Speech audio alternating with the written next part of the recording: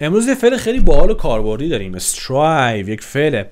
To try very hard to do something or to make something happen especially for a long time or, again, uh, or against difficulties. یعنی که خیلی سریع تلاش کنی برای اینکه کاری انجام بدیم یا باعث بشه یه اتفاقی بیفته. علل خصوص برای مدت طولانی.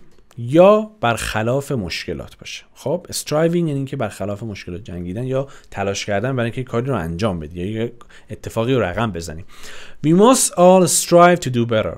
ما همه باید تلاشمون رو بکنیم تا بهتر عمل کنیم. خب she always strives for perfection. اون همیشه در تکاپو و در تلاش همون تکاپوه. در تکاپو تلاشه برای perfection یعنی برای بهترین بودن برای ایدئال بودن.